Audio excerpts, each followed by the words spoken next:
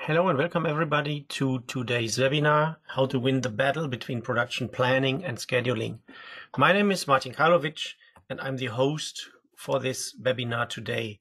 I'm CEO and one of the owners of Netronic Software and at Netronic I'm responsible for strategy, innovation, go-to-market and I am responsible for everything we do related to uh, Microsoft Dynamics 365 Business Central and Navision.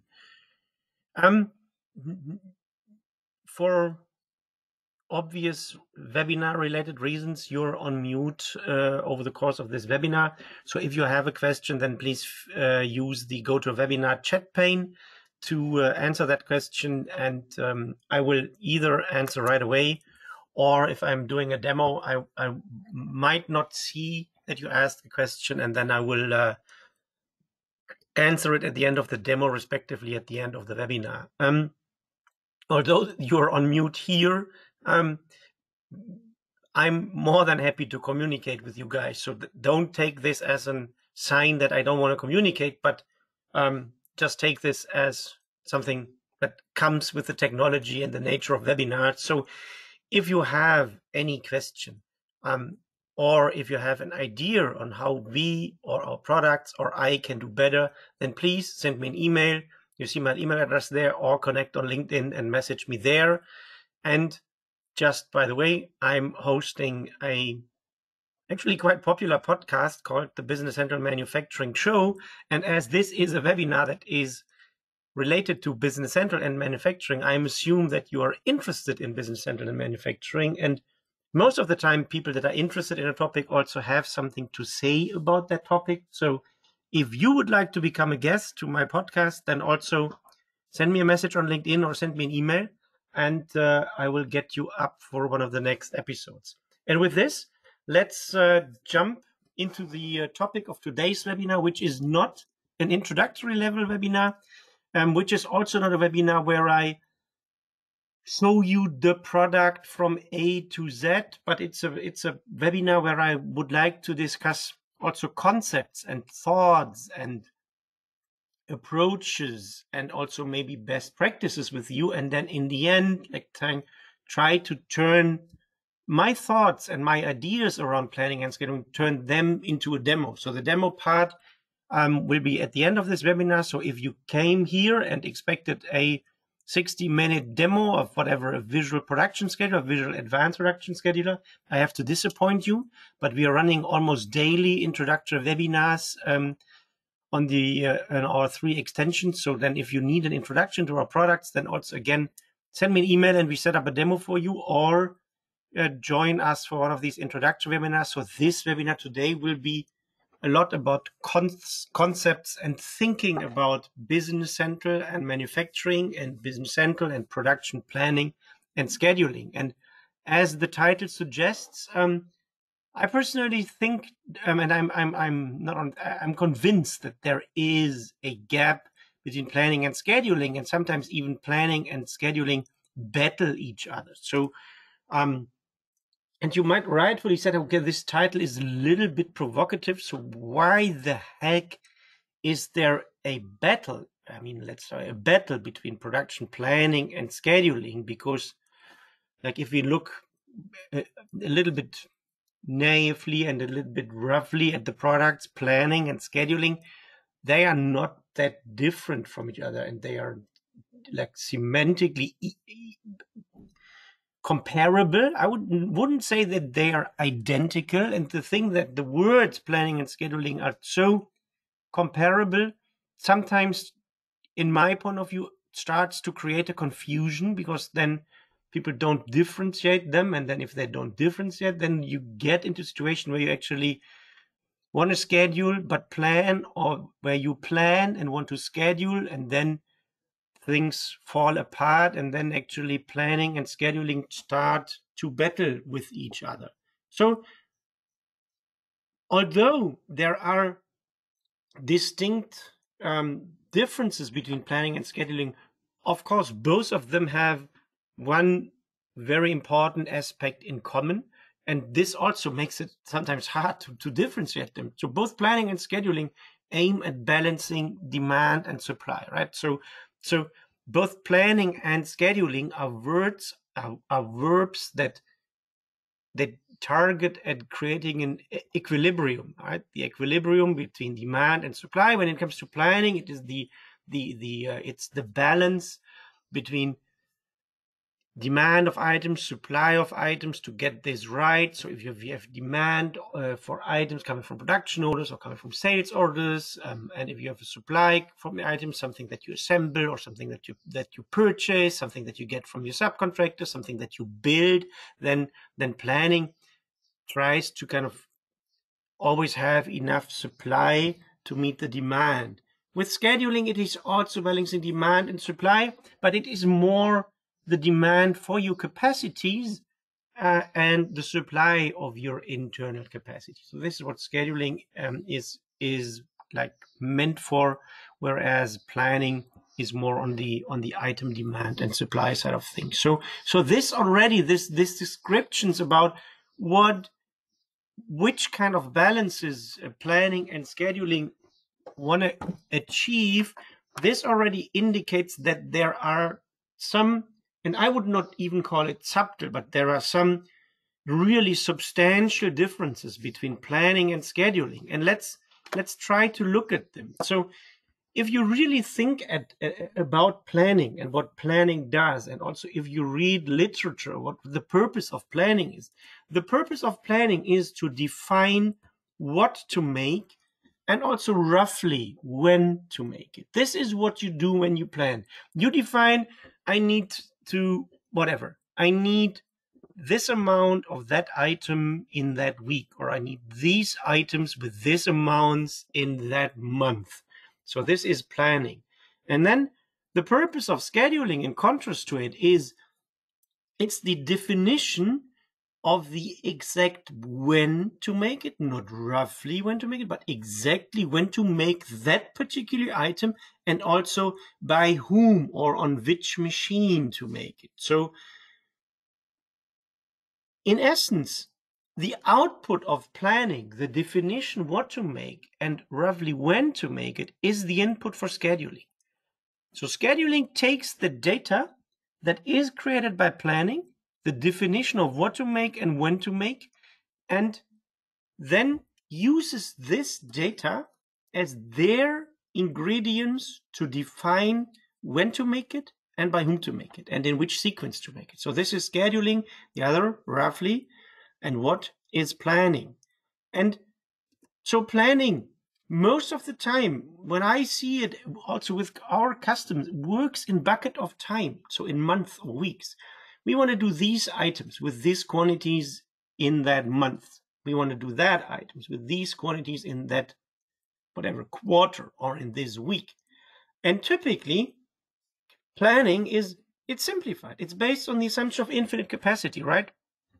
When we do planning, when we define what to make and roughly when to make it, we actually don't fully care if we have whatever 2,000 hours available that week and how, how much uh, hours this, the, these production hours will consume. But we, we, we just look from the demand side of things. Okay, what kind of supply do we need to generate to fulfill these demands? And so planning is overall a bit rough cut, right? It, it, it works in buckets of time, infinite capacity, and it's, it's quite rough.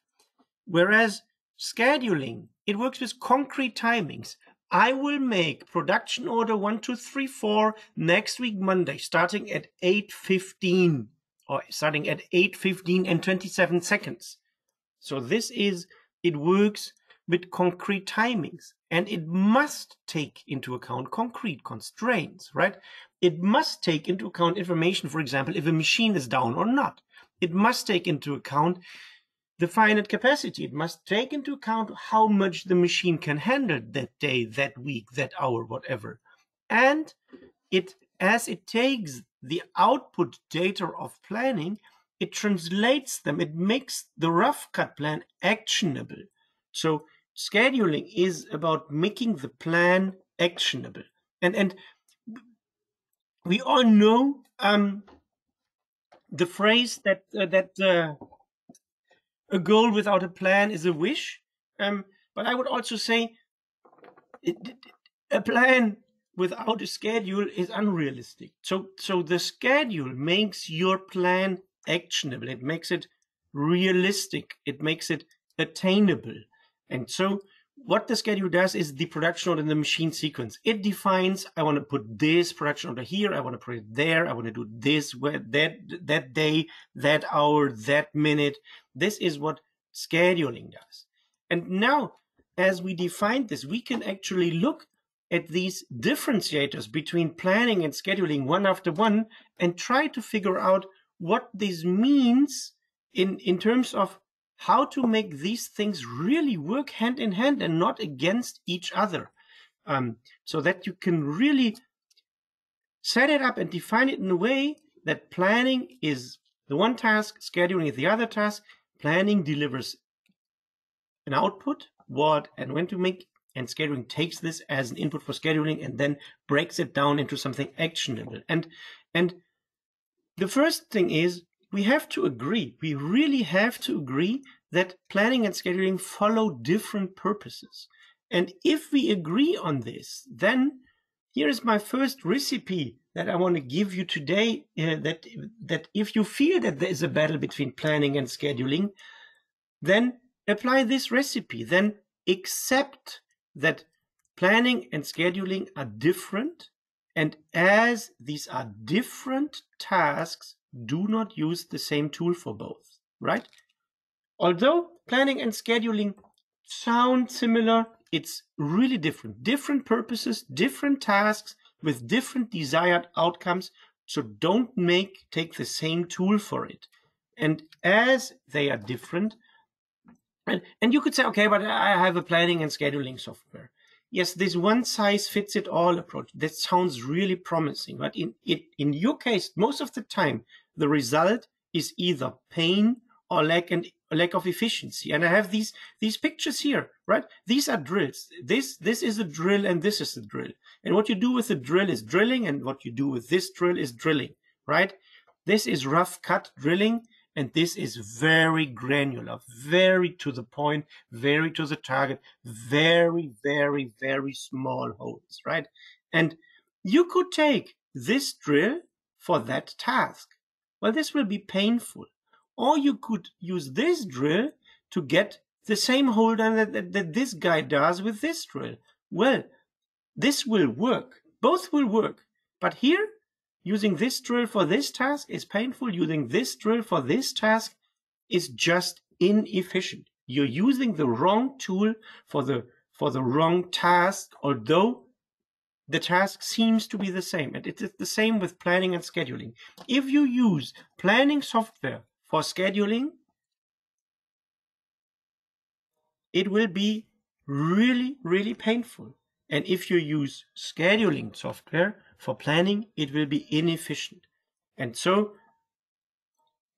make sure that, that, that you and your colleagues, your customers accept that planning and scheduling is different, it, different purposes, and they require different tools. So I really, really recommend that you look at this as not one thing, but two different types of tasks. And you need a tool for the one and you need a tool for the other to avoid pain and to avoid lack of efficiency. So now that we talked about the purpose, let's also talk about the next differentiator. And this is that planning works in buckets of time, like the month and week, whereas scheduling works with concrete timings.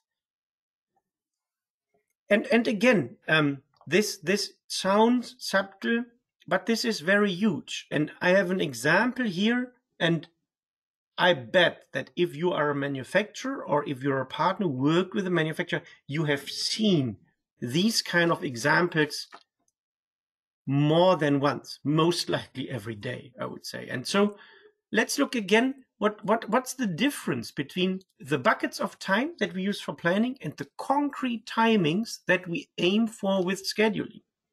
So the planner on Monday morning, he might face a situation and say, Oh, I checked the demand and the supply for this week, and hey, actually, we need to create 100 units of item uh, A, 50 units of item B, 75 units of item, item C, and 60 units of item D.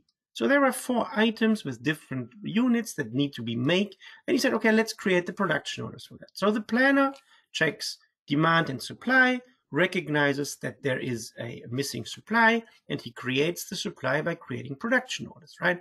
And he creates those production orders for that week, right? He he doesn't say I need item A on that day. He just said I need it this week, hundred of A, fifty of B, seventy-five of C, and sixty of D, and then he creates the production orders, and the production orders are the input data for the scheduling.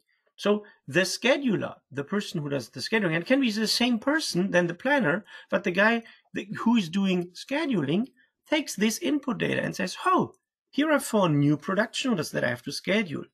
And then he looks at them and says, oh gosh, this item D actually requires my machine number two. And I know that machine number two will be down for maintenance today and tomorrow. And I know that, that creating 60 unit of item D is, is quite a bit of work. So I make sure I get it done this week. So I schedule this on my machine two from Wednesday to Friday. So machine two bit down for maintenance today and tomorrow and rest of the week busy with item D. Luckily, item A and item B require machine one. So he says, okay, then let's do item B first for whatever reason and uh, does it today and tomorrow, and then item A on Wednesday and Thursday. So there is a bit of time still left on item uh, on machine one for Friday. Um, with item C, it doesn't matter if you produce it on A machine one or B or two. So it the, the planner schedules it on machine one for Friday, and then he knows, okay, with this demand, and with knowing that the one machine is down for two days, well, the capacity is well used for this week. And he had made an actionable plan. He said, okay, on Wednesday, we will start with item D on machine two. And today we do item B. We run until tomorrow. And then on Wednesday, we switch to item A. And on Friday, we switch to item C on machine one. And then the next day, the planner comes again and says, hey, let's compare demand and supply for this week. And he's like, whoa, you see, there was 100 units of item A that were needed for this week. For some reason, it's now 120. So maybe the customer increased the order or we have a second order. Actually, the Planner doesn't care if this is a second order or if this is an, an, an increase in the existing order. He just sees there is now demand for 120 instead of 100 units. And he also sees, oh, there's a new demand for the units of item E. So he most likely deletes the old production order for item A and creates a new one with the demand of 120. And he creates a new production order for item E. This is what the planner does. And then the scheduler, who has the actionable schedule that is actually in the process of being executed, comes and see, okay, woo, holy moly, where's the production order for item A that I had scheduled on machine one for Wednesday and Thursday, and now it's Tuesday for tomorrow. He had a, schedule for tomorrow, and the production is gone. And then he sees, oh, there's a new one for that item with a larger quantity. And then he knows, okay, I need to run that machine uh, one for item A from Wednesday to Friday. So boom, machine is busy, right? Originally, he had planned to produce item C on the machine one on Friday. This is no longer possible because now the machine is busy with B and A. Right? And he sees, oh, there is another demand for item E, although the plan was already, the schedule was full for the week. So in the end, he might decide to to uh, to plan for an extra shift on Saturday morning to get the item C on machine one and item E on machine two done. This is, and here you sense a bit of the battle. Like the planner just bumps the demand into buckets of time and and this creates confusion with what the planner is doing and and, and we need don't need to talk about what happens on wednesday. I think you you get um, you got the point right? This is most likely what the planner how the planner reacts. He's you know he's stressed. He he feels pressure right? He he has to make this fist and slam on the desk because like this this planning guy killed his schedule, right? it removed the production that was scheduled for tomorrow, made the quantity bigger, added another one, not taking care of capacity, just filling this bucket of time with demand. And and this happens. I see this happening with customers that I work with. I know that partners see this happening with customers that they work with. And I heard customers saying this, that this is really, this is creating tension. And it's creating tension because there is this one function planning that schedules demand in buckets of time, and there's this other function scheduling, which really makes it precise and actionable. And so the recipe number two, the advice number two, that is if if you agree that bucket of times and concrete timings are different, then do not mix them, right? This is a bucket and this is a concrete sequence of things. And now imagine in this bucket, you would build a concrete sequence and then next day, whatever, your spouse, your son, your daughter comes and just shuffles the box. Sequence is gone or, or, or puts three new uh, bricks in there, shuffles the box, sequence is done. So have something where you build your sequence to keep it stable and then have your buckets where you just drop the demand. So if you build a concrete sequence within a time frame that falls under the bucket of time planning approach, this is really the fast track to frustration, right? Just imagine you, you sort the things in this box, in this bucket, and drop another brick in, shuffle it, boom, frustration. So the recommendation is really to define a time frame for which you want to and for which you have to be concrete. Say, okay, I have this time frame, and for this time frame, my schedule needs to be precise. I have to be very concrete. And then it's fine also to apply planning, and it's fine also to apply an approach where you use bucket of time planning, but do it after that period or, or minimize the overlaps, but have a dedicated period of time where you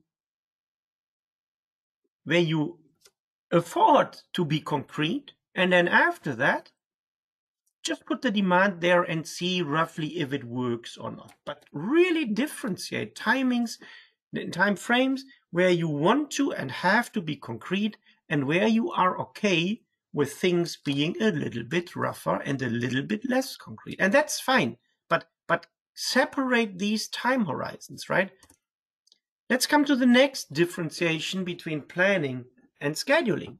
And the planning is based on the assumption of infinite capacity, right? We just dump another production order here. We increase the demand for that production order. We add another item. So happens day by day by day. The scheduler, the poor guy, as we saw in the, in the in the very primitive example, has to take into account concrete constraints such as finite capacity, right? And now the question is, what does it mean to take into account concrete constraints. And I tried to find an example that that resonates with me where where I did some well some planning slash scheduling exercises where over time there are more and more constraints and the more constraints I got with starting with a really rough approach creates frustration. And this process is preparing for a travel and preparing for a travel or planning or scheduling a travel by car with manual tools. Like like I'm 51 years old. When I was traveling by car in the past when I was younger this was my tool to plan. It was manual travel planning and manual travel scheduling I had a map I looked at the route in the map and then I looked at the map when I drove or when I did a break and then continued the ride, right? That was really manual travel scheduling right now, right? And today we have tools to automate this because we have to take a lot, or we learned that taking constraints into account when executing something that was planned manually is quite tough. So let, let's give you an example. So you can use you can use a printed map easily to say, hey, I'm in Munich. I want to drive to Hamburg because I heard there is this great directions EMEA event later this year. You can easily do this, right? And you could easily also, with, with a tool like this, say, well, you know, I want to take the shortest route, kilometer wise, right? I want to save whatever fuel. Fuel is super expensive right now. So I want to, I want to take the shortest route. And you can still get this done with, with a manual tool. It becomes already tricky, I would say, if you say, well, I don't want to drive at night, right? What is the best time to leave in order to most likely avoid the, the best the typical traffic jams. Because on the if you drive from Munich to Hamburg there are traffic jams. So when should I leave during daytime or early morning or afternoon to avoid the typical traffic jam? A manual tool will won't tell you. I mean then you would have to take another tool to take this information into your manual processes right? You would need to ask Google or whatever Bing um, some maps tool. And this would work, but it it it will start to be not ideal because you use like different tools to handle different constraints in your process. And then what if, right? So what if how, how would my route, how would my, my my my plan, how would my schedule change if I share the ride and pick up a colleague in Stuttgart? Well, game over here, right? This this this would uh, this this is just this one bit which makes this overall schedule here really really hard to impossible to maintain. And so now we live in 2022. Everyone is driving a Tesla, so I want to uh, optimize my route so there are easy access to free charging stations for my electronic car. And well, you know, will not work if I do everything manually. And of course, when I start start to travel um, and there are traffic jams ahead, how to adapt the route if you do it manually. And this is this is not possible. And so you see, this is a this is a super trivial example, right? Driving back half from Munich to Hamburg. Um, it requires a driver's license and a car. And and it, it is easy to get a driver's license. Um, and also like access to cars is not very limited. Um, you can buy them, you can rent them, you can lease them, you can you can share them, whatever. Um, so the, the task is very trivial, um, but it becomes tough if you add constraints to it. And if you add constraints to it, it definitely changes the requirements on the tool and on the tools that you use. And this is the other thing that I wanted to kind of make clear here that that this is also one of the difference between planning and scheduling. In scheduling, you have to take into account a lot of tools and uh, a lot of constraints, and this can create confusion going forward. So the scheduling constraints are all parameters that you must handle, right? And the more constraints you have, the more complex the scheduling challenge. So there, there will be an an inflection point in your scheduling challenge where pure manual scheduling and pure manual planning will not work. So there will be an inflection point where you say, okay, my scheduling challenge is so hard. I have to take into account that many complex that I must look for automated scheduling tools to help me taking all of these constraints into account in one go. And with this, let's come to the last differentiation between planning and scheduling. And this is the plan is rough cut, whereas the schedule makes this rough cut plan actionable. It, it takes this and builds the production order and machine sequence. And let's, let's think a little bit about making a rough cut plan actionable because we all know when we do a plan, we say, hey, we are here and we want to go to here and we want to go the straight route, right? This is the plan. Reality is like this, right? You start and then you, as you see, you need to make a course correction and then you go a little bit different direction. You find the direction again. You have to run a loop. You're on track again. you get disturbed. So, so you will end at your goal, but most likely not the straight way. So let's state the obvious. Scheduling is always dealing with the future. This is, by the way, also why we don't have a lot of reports uh, in our tools, because reports always look back. And scheduling is looking from today into the future. So scheduling means dealing with the future. And it is very normal and it is really fair that no I mean nobody can predict the future, right? If anyone could predict the future, she or he would be very, very rich or very, very powerful. It is it is the nature of the things that future always come with things that you cannot predict, right? And so it is really normal that your schedule will change. This picture here is absolutely unrealistic. And this picture is absolutely realistic and absolutely understandable because when you make the plan, you make an assumption of the future and then you get the real the reality check and you need to make course corrections. But on average you need to get there where you planned you wanted to go but most likely it will not be the direct way. So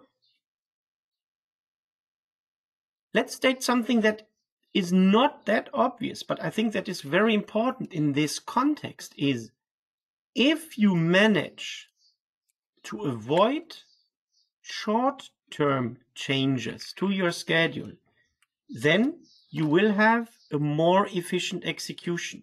So you can plan, and it is okay that you cannot predict the future, and it is really okay that you change your schedule. Right? This is this is this happens every day to every organization on this planet. They change their schedule day by day by day, but it makes a difference if you change the schedule that you had for today or if you change the schedule that you have for next week. Right? This is a difference because if you change the schedule for today, that you if you change the schedule that you made yesterday for today, then then with a very high probability this creates chaos and confusion on the shop floor and it it disturbs the execution. It has a direct effect on what is happening. But if you change the schedule for next week, then this can also cause some turbulences and can cause some issues and maybe your purchasing department will be angry because they have to uh, to accelerate the purchase of some goods that are hard to get for supply chain issues or whatever. But but the impact of a change that you make to their schedule for next week is not that dramatic as if you make a, a, change to the schedule for today or tomorrow. So what i highly encourage you is that you try to get something that I would call in, in, in brackets managed life and you see the little difference here. So I I absolutely I'm absolutely fine with changing with constantly changing the schedule. But I also encourage you to find really hard for this area here where we said, okay, when we start executing the plan, we try to keep it as stable as possible. So if I schedule something today for tomorrow, I'm, I'm in the manufacturing industry, right? If I'm scheduling something today for tomorrow, then let's all agree that tomorrow we won't make any fancy changes. We try to keep just the tomorrow as stable as we can and accept that the day after tomorrow there will be a lot of loops and a lot of changes. But there should be a short period of time that you keep stable because this alone will really, really increase your efficiency. And this comes to my for, for uh, this this this leads to my fourth and last recipe for how to win the battle between planning and scheduling. If you agree that constantly changing an action plan negatively impacts both effectiveness and efficiency, then decide and design for stability. So we all know, we all know this, this domino chain, right? Um, you, you hit, hit one of these domino bricks and then everything falls apart, right? And this is, this is what's happening here, right? You change one thing and then there's a lot of confusion and you need to change a lot of other things. When it comes to scheduling and when it comes to making planning and scheduling works, build breaking points into your domino chain.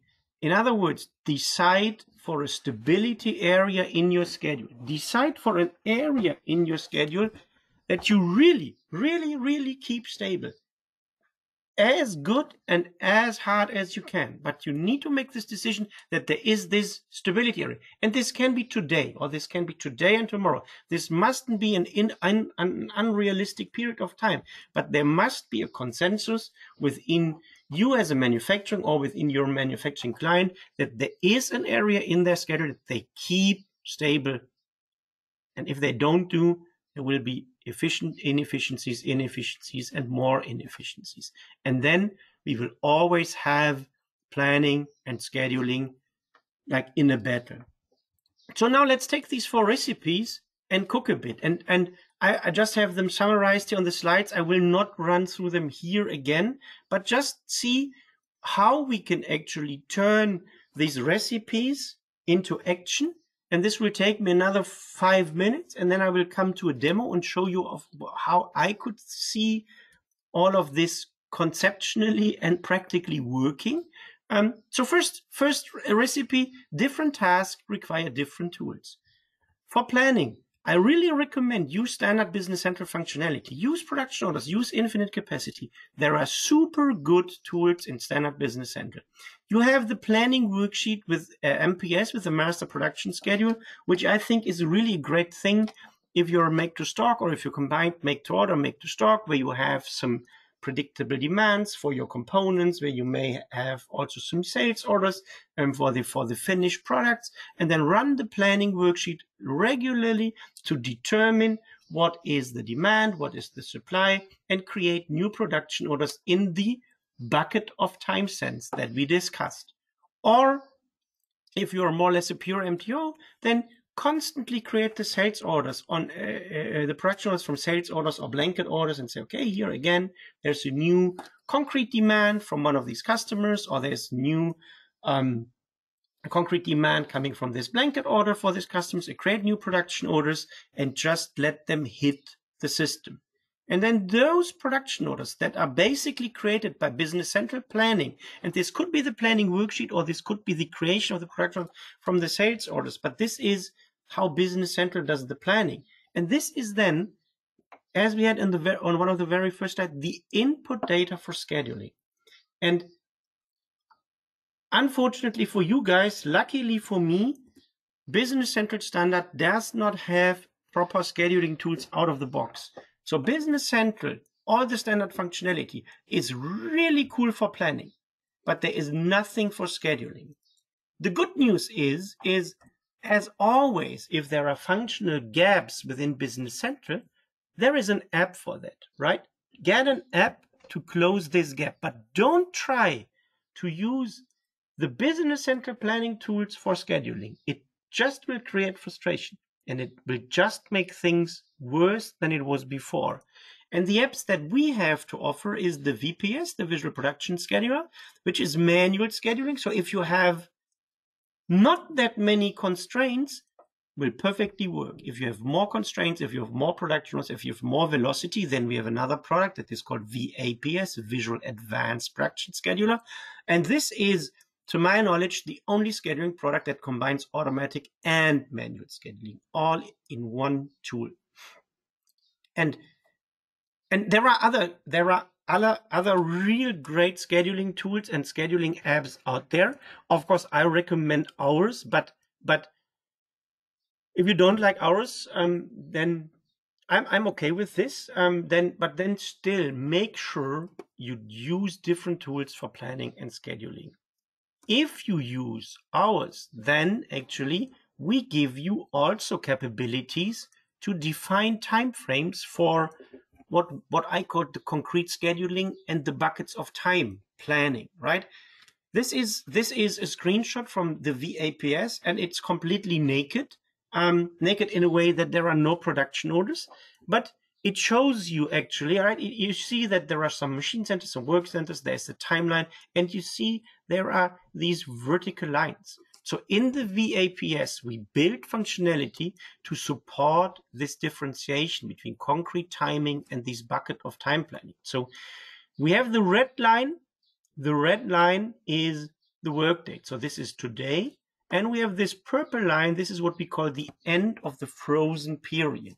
And the VAPS is designed in a way that the period between today and the end of the frozen period, this is VAPS's responsibility. So this is the time frame where you do the concrete scheduling, the machine order, production order sequencing, where you really make it actionable. After the end of the frozen period, we have the MPS responsibility. Here, the planning worksheet is responsible. This is where we allow the bucket in time planning.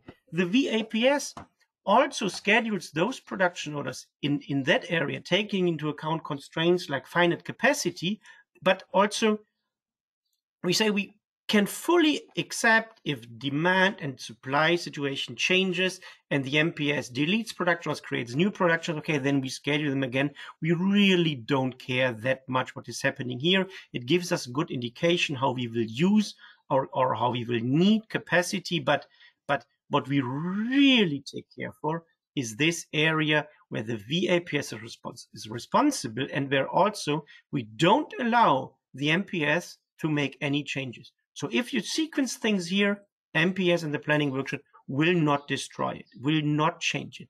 This is where the concrete timing happens and where where we don't allow the bucket the, the bucket of time schedule uh, planning to shuffle things around. Then if we are with the VAPS, we give you a lot of automated scheduling tools, and some of them I will show you in a couple of minutes. Like we give you tools that tell you when I can finish a production at earliest, when I can finish at earliest, taking into account all allowed machines. We give you a tool to efficiently schedule all new production orders. We give you a tool to accelerate the rush order. We give you tools to reduce idle times without respecting the sequence operation and with respecting the sequence operation. And we are building automated scheduling tools basically or more or less every quarter. So this gets richer and richer and richer and richer with mostly every release that we do once a quarter. And then last but not least, have the stability area in your schedule. So let's go back to this picture that we just had. We said, okay, we have this area of responsibility for the VAPS where we really do the very concrete scheduling, where we take the planning data and turn them into an actionable plan. And if you look very closely, then I introduced this red line as the today line and the purple line as the end of frozen period. We also have something that we call the scheduling start. And the scheduling start for us is the first date that we take for automatic scheduling, which means there is an area between today and the scheduling start. And by the way, you can define the gap between today and the scheduling start, and you can define the gap between today and the end of frozen period. So these are individual settings that you can make. But as there is always a dedicated gap between today and the scheduling start, there is actually an area in the VAPS where you do manual scheduling only. And this is what we call the stability area. There is no algorithm, nothing, no automatism, nothing that changes production orders that are in this period between the red line and the blue line. This is what we call the stability area and we we we you can change things there manually but we say just do it to handle exceptions but keep it stable to make sure that operations are efficient and only change from a from this very short-term plan if there is an exception. And then the rest of this, this is where automatic scheduling. There you get all the efficiencies of automatic scheduling, starting from the scheduling start and um, taking into account a lot of constraints and taking into account an increasing number of constraints. This is automatic scheduling, this is efficiency, and then we have like the, the, the bucket of time planning afterwards. And to my knowledge, this combination of having a manual area plus an automatic scheduling within one tool and within one UI, within one surface. This is pretty unique um, in the Business Central ecosystem. And I would like to take a couple of minutes to actually have a look how I can see those puzzle pieces and um, working together. And I can also see how these recipes get applied. So let me quickly log into Business Central again. And I have the VAPS um, installed here. So I will work with the VAPS because I also have like an example here where I have a lot of constraints. So I need to do some automatic scheduling. So first of all, when you do the VAPS, you run a simulation and the simulation is a copy of your production data on which you do the scheduling so that you can also have multiple simulations. You can compare them and then you can um, can can uh, publish the simulation that you like best. So now I created simulation. So I copied all my production orders for a given time frame um, into a separate table, and now I can view the simulation um, in a in a nice graphical way. So I have a um, let's say a resource Gantt chart where I have my work center groups, my work centers and my machine centers here on the left hand side. I have a time scale. I have my work deadline. So in my example, it's the 28th of January 21. This is the red line. I have a scheduling start. I set it for today plus three days. And I have the end of frozen period. And I set it for today plus, I think, three weeks. So I have this manual area here, which is now basically today and tomorrow. So Thursday and Friday. And then I have the three weeks of time where I say this is where automatic scaling is, and afterwards, um, you see there I have some production orders there, and I will add a couple of more in a minute. But but this is where I don't care if if uh, the planning worksheet kind of shuffles it all around. I really want to make sure I have a really good schedule, an actionable schedule for the next, let's say, three weeks. And you see, there is something that is called the standby resource.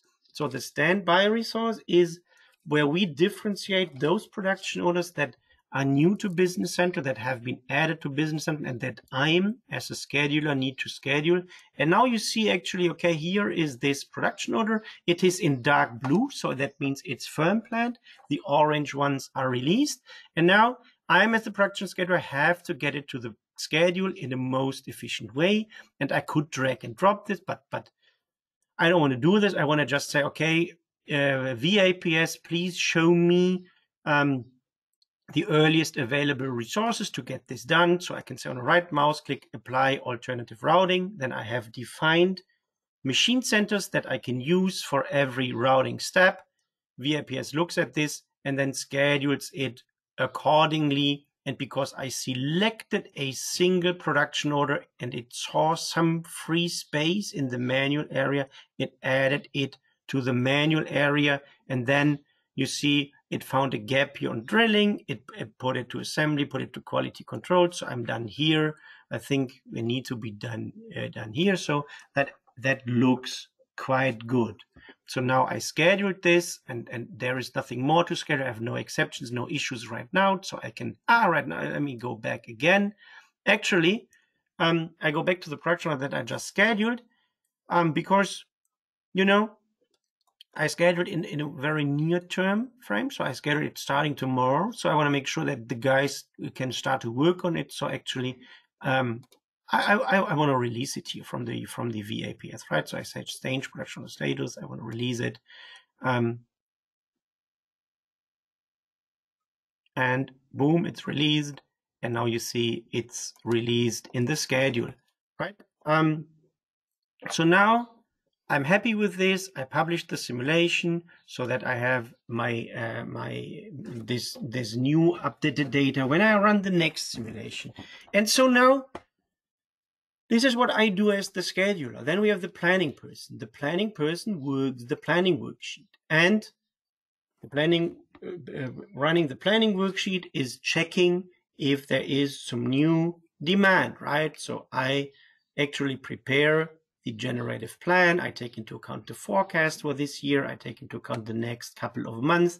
I'm just looking at certain items that I'm going to produce and I run the planning worksheet and you see there is actually some new demand, right? I see a bunch of new production orders um, that the planning suggests me to do, taking into account infinite capacity as Business Central does it. And the planner says, okay, this all makes sense. If there is the demand, I need to carry out the action messages. So I create firm plan production orders. Okay. Um, so I create all those new production orders. And now those new production orders are created. And at some point of time, the production scheduler says, hey, actually, let me see if I have new production orders to schedule. So I create a new simulation, including firm plan production orders for the week, looking a week uh, back and two months out. Um, I create a new simulation and I see actually, you see Last time I had 31 production orders, now I have 41. So the new production orders are now part of my simulation. And you see actually all this demand that comes from those new production orders now sits on the standby resource, right? So you see I have a lot of production orders here on the standby resource. They all come from, uh, they, they, they all come uh, because I ran MRP bucket of time planning. MRP positioned it there, take not taking into account any capacity. And by the way, if you think these standby resources, when those things stack up, are too high, you just can show also the operation overlapped in one row so that you just see that there is some stuff waiting there to be scheduled. The thing is, if you if you overlap this, it is hard to select one production order um, because you not no longer can uh, differentiate them, but um, you also must not necessarily do this because with the VAPS, you can do automatic scheduling. So I now can also say schedule and add all those new production orders to the schedule so that I get an efficient and realistic new schedule for all those production orders that were just added. And I also see that some actually may run late because the current capacity utilization so I could try to figure out what I can do. But first of all, let's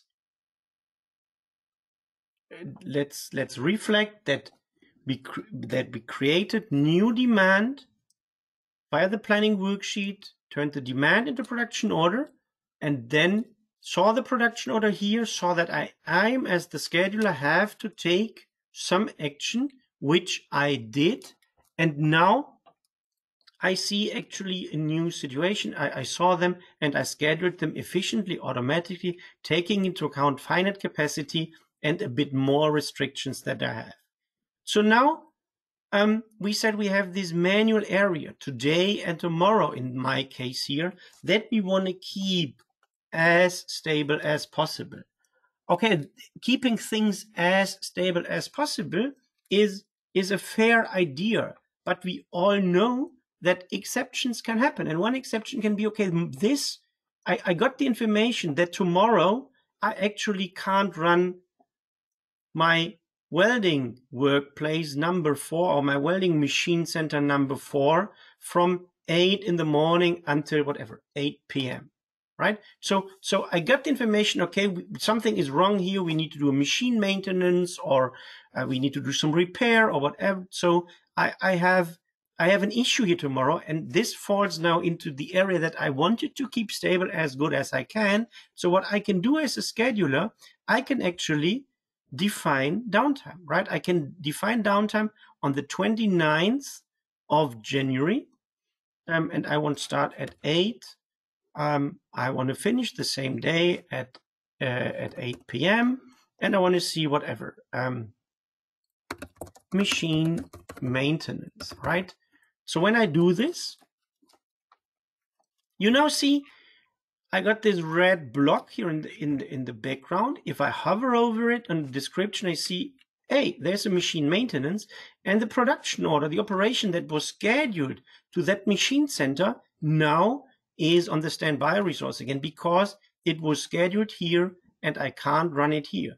So now it's my job as the scheduler to make sure um, to, to deal with this. And so one one option could be I can put it now, drag and drop it to welding station number two, but then this has an impact on the successor, so it pushes out Uh, uh, the subsequent operation, but it didn't cause any production order to turn late because I don't see any red bubble, red dot. So this is something that I could do now or can do manually in order to deal with this situation, right? So now, now I'm I'm good with this. I I scheduled all those uh, all those production orders. I'm pretty fine. I'm I'm good with it. So I leave the schedule. I publish it again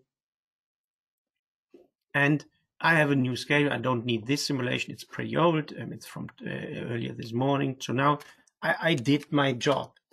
And then what happens next is my friends in the sales department, they get they get a new order, right? They get a new order from the Selangorian Limited. The Selangorian Limited, although they have an overdue balance, they are my number one customer, right? They are super important and they request uh, something for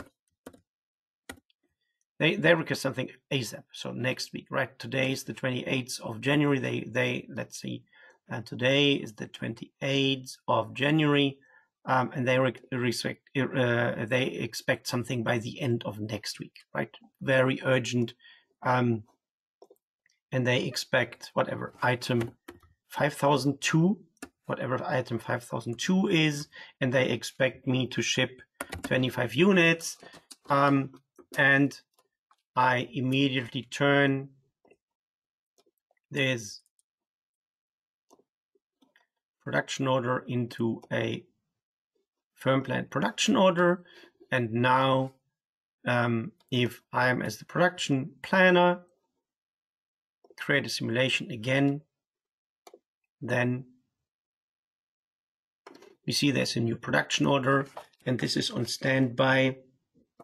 And now I have to make sure that I get this thing on time into the schedule. And the guys told me already, okay, you need to deliver it definitively by the 5th of February. So let's make, let's, let's figure out how this can happen. And then I can say, okay, I actually have some free time here today on my drilling machine. So let me let me check what happens if I say apply routing. Um, okay, then uh, originally it would go to drilling one, so that's not a good idea. Let's check if drilling two is allowed. Um, so I say apply alternative routing. It schedules it to here. It finds a slot on the saw. I can push it to welding. I can go to assembly and I can tell my sales guys, okay, um, I could squeeze this in today. I could squeeze this in into my stable area because I had some free capacity here. Um, I'm good. So um, you can confirm the customer that we can deliver by the 5th of February. So you saw there are a lot of tools that we have here to schedule. The good message is, or the message is the scheduling tool integrates with Business Central planning capabilities. Planning capabilities can be creating the project from the sales order, or planning capabilities are the planning worksheet um, with the MPS. So the VAPS is integrated with both, and the VAPS gives you the power of automatic scheduling, but also the ease of manual scheduling. It is both combined and it, it's put into a concept where you have the VAPS area, where you have the bucket of time area, and within the VAPS area, you have the manual area and you have an automatic area. And with this, I would say you are really prepared to win the battle between planning and scheduling. And with this, um, I'm at the end of what I had prepared for today. Basically, in time, um, which surprised me. I, I uh, when I uh, when I made the slides, I thought uh, I would significantly overrun. Um, so this worked out quite well. And if you have a question, then I'm happy to ask them now. And I see there is one question.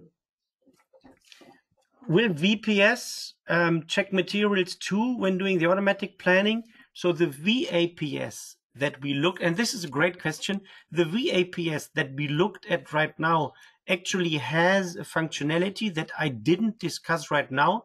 This functionality called is EMAT, earliest material availability date. So the VAPS that we looked at right now takes the material availability into account as another constraint for scheduling.